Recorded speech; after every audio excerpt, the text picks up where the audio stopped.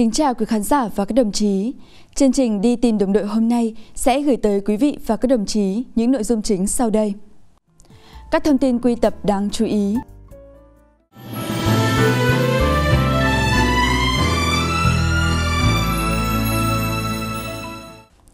Thưa quý khán giả và các đồng chí, như chúng tôi đã đưa tin, tại khu vực làng Đốc 1, xã Ia Kreng, huyện Chư Pả, tỉnh Gia Lai, thời gian vừa qua, đội quy tập Cục Chính trị Quân đoàn 3 đã quy tập được 10 hải cốt liệt sĩ. Sau khi mở rộng phạm vi tìm kiếm, đội đã tìm thấy thêm một hải cốt liệt sĩ tại khu vực trên. Theo đó, hải cốt liệt sĩ được tìm thấy trong một hang đá to. Khu vực này cách thị trấn Iali khoảng 12 km, gần quốc lộ 14. Hải cốt liệt sĩ chưa xác minh được danh tính và hiện được an táng tại Nghĩa trang liệt sĩ tỉnh Gia Lai.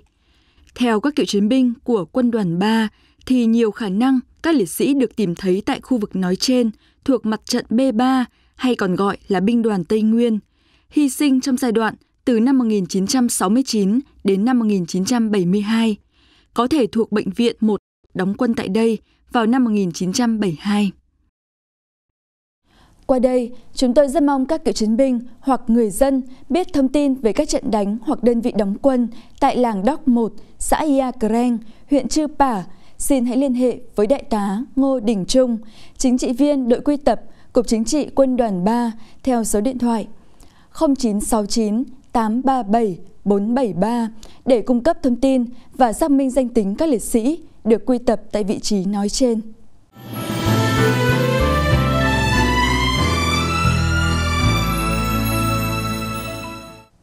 Vừa qua, đội chuyên trách K72, Bộ Chỉ quân sự tỉnh Bình Phước đã tìm kiếm, quy tập được 9 hải cốt liệt sĩ tại ấp Măng Cải, xã Lộc Thiện, huyện Lộc Ninh, tỉnh Bình Phước.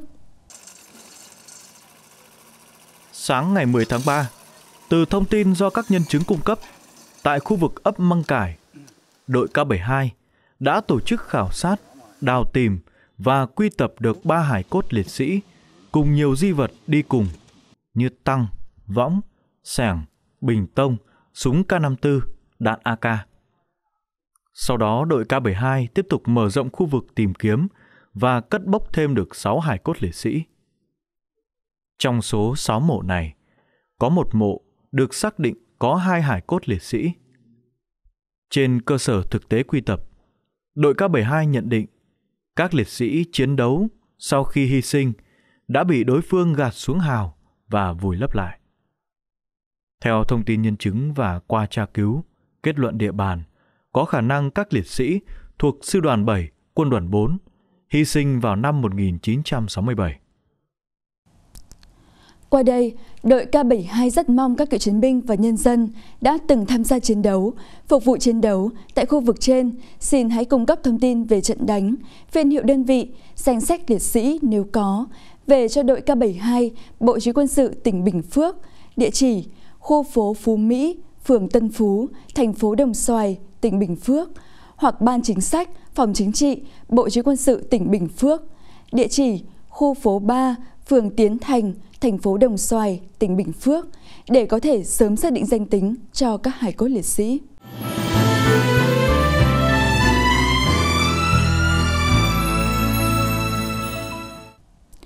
Theo thông tin chúng tôi vừa nhận được từ đội quy tập Bộ Chỉ quân sự tỉnh Nghệ An, thì từ đầu mùa khô 2020-2021 đến nay, đội đã quy tập được 69 hải cốt liệt sĩ là chuyên gia và quân tình nguyện Việt Nam tại ba tỉnh Siêng Khoảng, Xây Sổng Bun và Viêng Chăn, Cộng hòa Dân chủ Nhân dân Lào.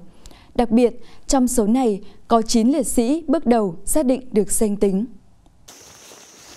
Trước tình hình dịch bệnh COVID-19 bùng phát và diễn biến phức tạp, ảnh hưởng rất lớn đến công tác tìm kiếm, quy tập hải cốt liệt sĩ trong mùa khô 2020-2021, nhưng đội quy tập Bộ Chỉ quân sự tỉnh Nghệ An đã chủ động khắc phục khó khăn và xác định tập trung đẩy nhanh tiến độ tìm kiếm, quy tập các phần mộ liệt sĩ đã khảo sát và có thông tin trước đó tại ba tỉnh Siêng Khoảng, Viên Chăn và Xây Sổng Bun. Tính đến nay, đội đã quy tập được 69 liệt sĩ tại ba tỉnh nói trên. Trong đó, tại khu vực núi Phu Phả Đen, bản Thèn Khùn, huyện Mường Khùn đội đã tiến hành quy tập được 8 ngôi mộ có ghi thông tin trên các tấm bia bằng nhôm. Trong đó, 5 mộ ghi đầy đủ họ tên, cấp bậc, chức vụ, quê quán. 3 mộ chỉ ghi họ tên. Còn lại, bảng Lóng Cày, huyện Mường Khăm, tỉnh Siêng Khoảng, đội đã quy tập được một mộ liệt sĩ có thông tin ghi trong lọ penicillin. Danh sách 9 liệt sĩ có thông tin bao gồm 1. Liệt sĩ Lưu Đắc Hương, sinh năm 1940. Quê quán Ngọc Hải, Đồ Sơn, Hải Phòng. Hy sinh ngày 31 tháng 12 năm 1969. Đơn vị C13. 2. Liệt sĩ Nguyễn Văn Sơn, sinh năm 1949. Quê quán xã Thái An, Thái Ninh, Thái Bình. Hy sinh ngày 31 tháng 12 năm 1969. Đơn vị B7, E3. 3. Liệt sĩ Đặng Huy Hoa, sinh năm 1942. Quê quán Cộng Hòa, Nam Sách, Hải Hưng, nay thuộc tỉnh Hải Dương. Hy sinh ngày 31 tháng 12 năm 1969. Đơn vị C1, C7, E3. 4. Liệt sĩ Lê Bá Thao, sinh năm 1949. Quê quán Hùng Thắng, Tiên Lãng, Hải Phòng. Hy sinh ngày 31 tháng 12 năm 1969. Đơn vị C1, C7, E3. 5. Liệt sĩ Vũ Đức Hoan, sinh năm 1942.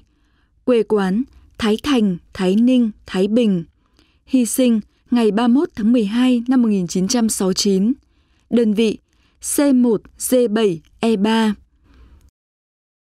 6. Liệt sĩ Nguyễn Ngọc Quế, quê quán xóm Đông Phong, xã Bình Lãng, huyện Tứ Kỳ, tỉnh Hải Hưng, nay là tỉnh Hải Dương. Cha Nguyễn Ngọc Sung, mẹ Trần Thị Giàng, hy sinh ngày 5 tháng 11 năm 1969. Đơn vị C4, C45, E5, quân khu Tây Bắc. Còn ba liệt sĩ bao gồm liệt sĩ Lê Văn Vươn hoặc Vợn, Phan Văn Phớt hoặc Phạm Văn Phốt và liệt sĩ Phạm Thanh Loan. Khi quy tập chỉ xác định được tên, chưa xác minh được thông tin quê quán, phiên hiệu đơn vị. Trong 9 liệt sĩ được quy tập tại tỉnh Siêng Khoảng nói trên, đến nay có 4 gia đình đã liên hệ với đội, bao gồm gia đình liệt sĩ Nguyễn Văn Sơn, quê ở Thái Bình, gia đình liệt sĩ Lê Bá Thao, quê ở Hải Phòng, gia đình liệt sĩ Phạm Thanh Loan và gia đình liệt sĩ Nguyễn Ngọc Quế, quê Hải Dương.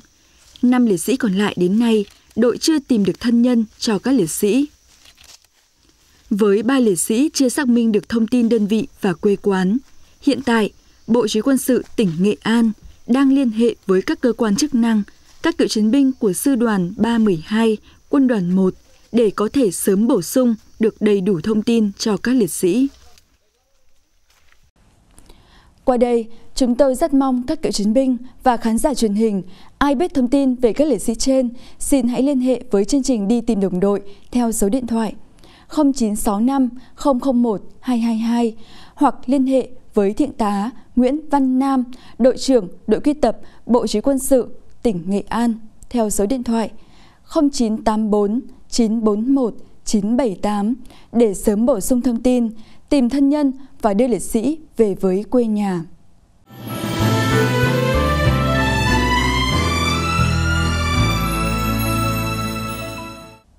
Với cuộc đời mỗi con người, 50 năm là một quãng thời gian rất dài.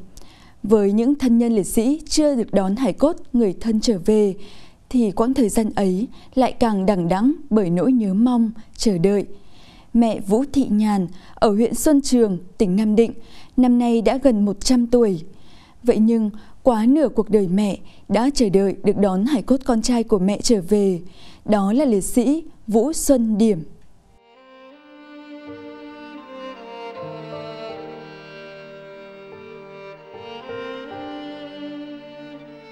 Tháng 4 năm 1970, chàng thanh niên Vũ Xuân Điểm từ biệt mẹ cha và gia đình, sung phong lên đường nhập ngũ. Khi ấy, anh mới tròn 18, độ tuổi đầy hoài bão và ước mơ.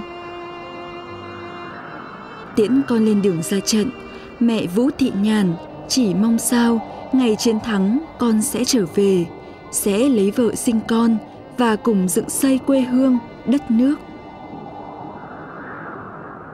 Vậy nhưng, ước mơ ấy đã mãi mãi giang dở. Ngày 15 tháng 11 năm 1971, chiến sĩ Vũ Xuân Điểm đã anh dũng hy sinh nơi chiến trường.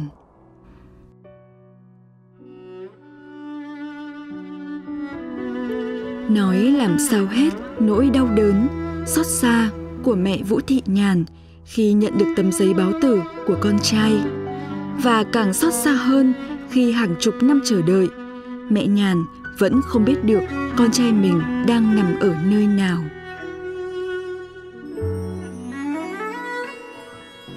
Mẹ ngồi đây nhiều năm chờ đợi Thành tượng người vô cảm sống thời gian Bóng già in tường vôi loang lổ. Nước mắt đức tin đông thành đá lạnh. Con đường làng ngày xưa mẹ nhàn, tiễn con lên đường ra trận. Giờ đây, đã khoác lên màu áo mới khang trang. Trên con đường ấy, ngày ngày, mẹ nhàn vẫn nhờ các con đưa ra đầu làng nơi có tán cổ thụ đang xòa bóng mát. Nơi đã gắn với những ký ức chẳng bao giờ quên về ngày con trai từ biệt mẹ lên đường nhập ngũ. Bây giờ đi mới có còn non còn ít tuổi mà nó có vợ có con gì đâu. Đi thì muốn mong muốn cho con đi, đi, đi nơi rồi về đến nhà đi được công được việc rồi về đến nhà chứ ai biết thì đi được con mất thì trả đi điểm đi thì con mới về thì không. Khó được chứ. Mong mỏi từng giờ từng giờ phút một chứ chưa phải không được. Bốn chục năm nay, thế là bà nhà là cứ mong về con. Bao nhiêu năm mẹ mẹ cứ bảo là mẹ muốn nhìn thấy bác lần cuối. Nhưng tôi cứ động viên bà tôi là mẹ cứ cố gắng sống để chờ khi nào chúng con tìm được bác về. Bao nhiêu năm chờ đợi bác cứ nghĩ ngày 27 tháng 7 thương binh liệt sĩ là chị em là quê quần bên bà để nhìn về bác.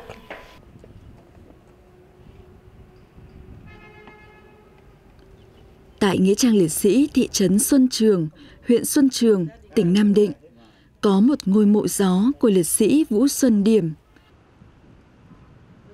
Chưa đón được anh trở về, các anh chị em trong gia đình lại đến mộ gió thắp hương và cầu mong sao sẽ sớm có được tin tức về phần mộ người thân của mình.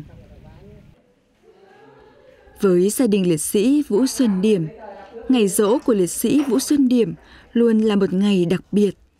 Anh chị em, con cháu dù làm ăn ở phương xa cũng đều cố gắng thu xếp thời gian để về với mẹ Vũ Thị Nhàn và cùng thắp nén nhang thơm tưởng nhớ đến người đã mãi mãi đi xa.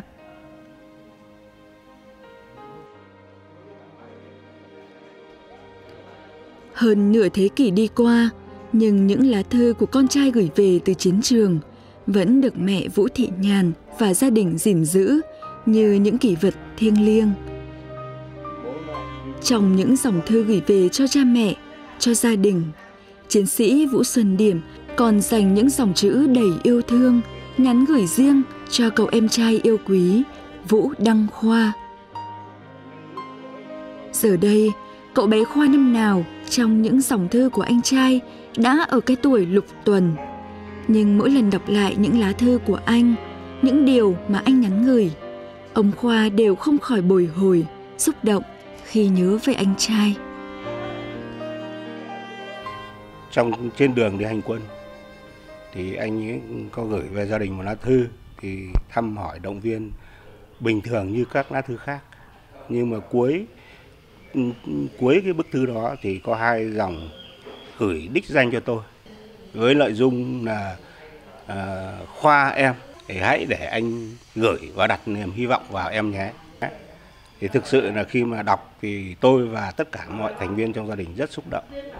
Từ cái chỗ anh ấy đã nhắn gửi mình và đã gửi gắm vào mình như vậy thì bao nhiêu cái tình cảm nó nó dồn nén và nó nó nó nó nó nó tạo một cái động lực để mà sau khi, sau này nhiều năm sau thì thì tôi ý thức được là mình phải có trách nhiệm đi tìm anh.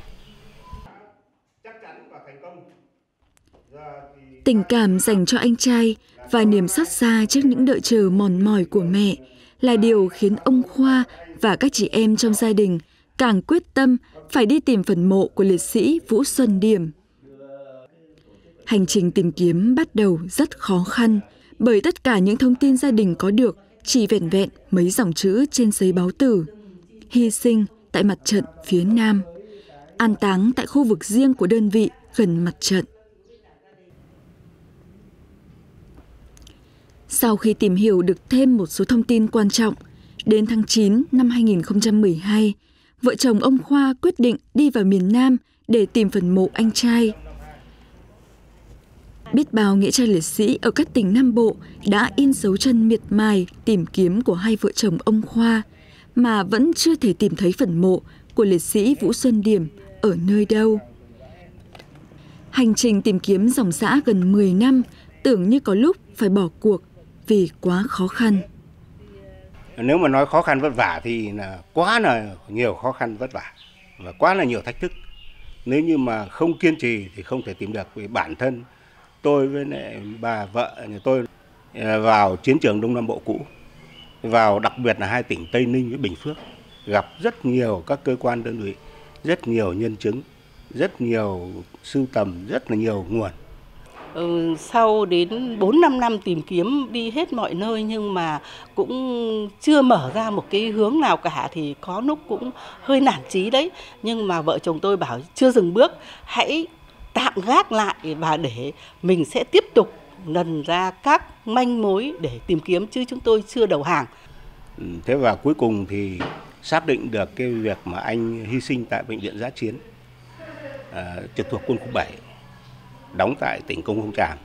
Về sau ấy, thì các cái ngôi mộ đấy được quy tập về nghĩa trang nhà bè. Thì cái thời gian quy tập thì tôi nghĩ là cũng phải trên 30 35 năm. Thế và ờ, thông qua cái công tác tìm kiếm bằng nhiều nguồn thì cuối cùng là mới mới biết được là mộ anh nằm ở đấy và tất cả các cái tài liệu gốc so với cái hồ sơ của anh trước khi anh đi thì thì đều chính xác cả thì cũng rất là may mắn sau gần 8 năm thì chúng tôi đã có một cái thông tin tuyệt vời đến với gia đình và hai vợ chồng đã quyết tâm về khi biết như thế là về bàn bạc thống nhất gia đình để làm các thủ tục để đón hài cốt liệt sĩ về khi mà mẹ chồng tôi còn sống. Vậy là sau hơn nửa thế kỷ nằm lại miền Nam xa xôi, hôm nay hải cốt liệt sĩ Vũ Xuân Điểm đã được người thân đón về quê nhà. Những đợi chờ tìm kiếm, những hy vọng mong chờ của mẹ Nhàn và cả gia đình suốt mấy chục năm qua đã được đền đáp. Quê hương Xuân Trường tự hào, xúc động được đón hải cốt một người con anh hùng trở về. Xúc động nhất là tôi đã làm được cái việc mà anh đã gửi gắm và anh đã đặt hy niềm hy vọng và đã tròn cái cái trách nhiệm của mình với anh, với người đã đã hy sinh cả một cuộc đời. Không không phải là liệt sĩ nhà tôi mà mà mà quan trọng như vậy, mà liệt sĩ nào hy sinh vì nước, vì dân cũng đều quan trọng, đều phải là tôn thờ, đều phải có trách nhiệm. Thì tôi nghĩ như vậy cho nên là rất là xúc động khi mà tìm thấy anh bằng ấy năm và rất là có ý nghĩa khi mà mẹ đã năm nay đã 95 ngoài 95 tuổi rồi.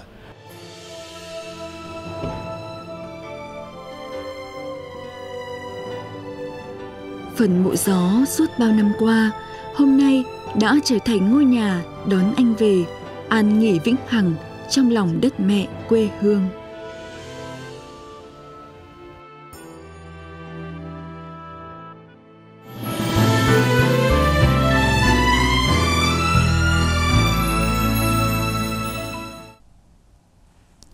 Trong hàng chục năm trời, điều mà các thành viên trong gia đình liệt sĩ Phạm Văn Đằng luôn chăn trở, áy náy, không lúc nào nguôi, đó là khi cả bố và mẹ liệt sĩ đều đã qua đời. Vậy mà các em vẫn chưa thể tìm thấy hải cốt của anh trai để đưa về quê nhà an nghỉ. Ông Phạm Văn Bồi, năm nay đã gần 80 tuổi. Ông vừa là người đồng ngũ, cũng là người trong cùng dòng họ với liệt sĩ Phạm Văn Đằng. Mỗi khi nói chuyện cùng gia đình, nhất là khi nhớ về một thời hoa lửa, ông không khỏi xúc động. Bởi đó là cả một thời thanh xuân của ông cùng đồng đội.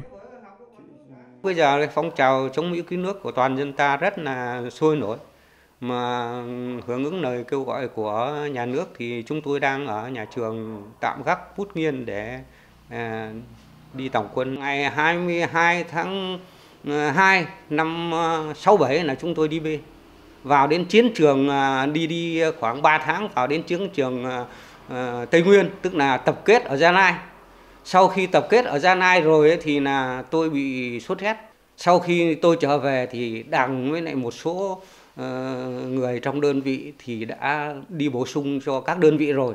Mà bổ sung chính của đơn đoàn chúng tôi ấy là Phú Yên, Khánh Hòa và Bình Định. Hòa Bình về đến nhà thì được tin là đằng với một số người trong đơn vị đã mất rồi. Khi nào các cơ quan đoàn thể mà các cái tổ chức của nhà nước mà biết được anh ấy nằm ở đâu hay là như thế nào thì gia đình chúng tôi bằng giá nào cũng đi tìm.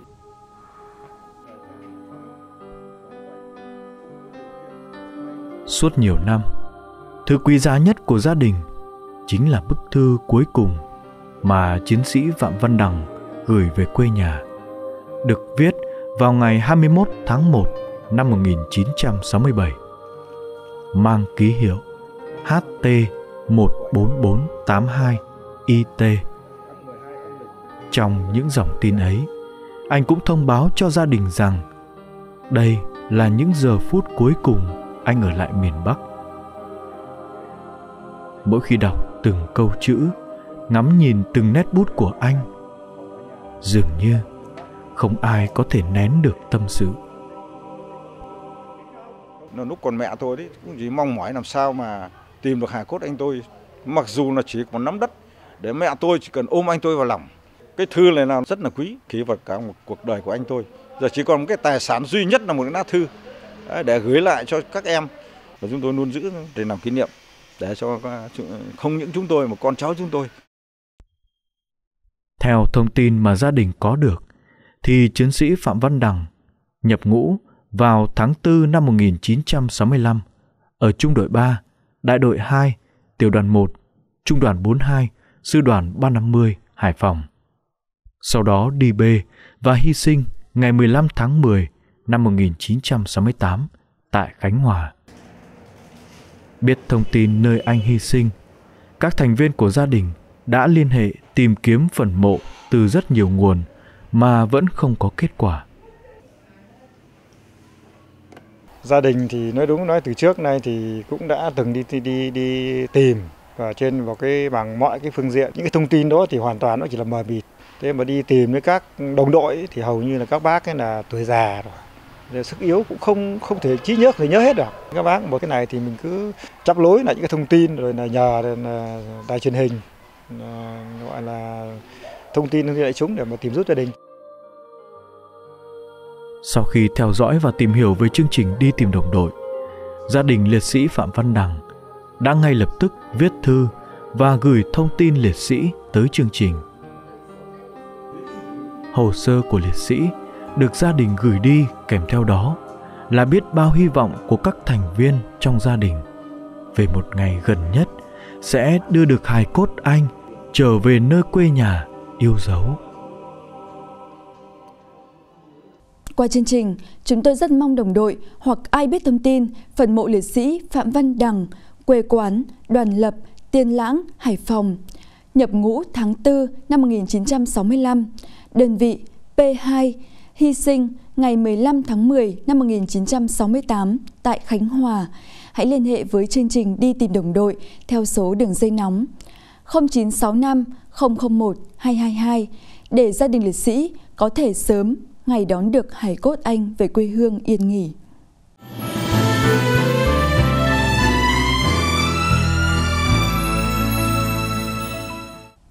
Chương trình Đi tìm đồng đội luôn mong muốn sẽ là cầu nối cung cấp thông tin hữu ích và chính xác tới quý khán giả và thân nhân các liệt sĩ. Chúng tôi luôn mong muốn sẽ nhận được thông tin của khán giả ở cả trong và ngoài nước. Mọi thông tin, quý khán giả và các đồng chí có thể gửi về qua số đường dây nóng 0965 001 222, email đi tìm đồng đội a qpvn.vn. Quý khán giả có thể xem lại chương trình tại trang web qpvn.vn. Chương trình Đi tìm đồng đội của chúng tôi hôm nay xin được kết thúc tại đây. Xin cảm ơn sự theo dõi của quý vị và các đồng chí. Xin kính chào và hẹn gặp lại. Đồng đội ơi, ta về với nhau, ta trở về thăm một thời oanh liệt. Như năm xưa, ta vừa mới bên nhau, mười tám đôi mười trời xanh biếc trên đầu. Đồng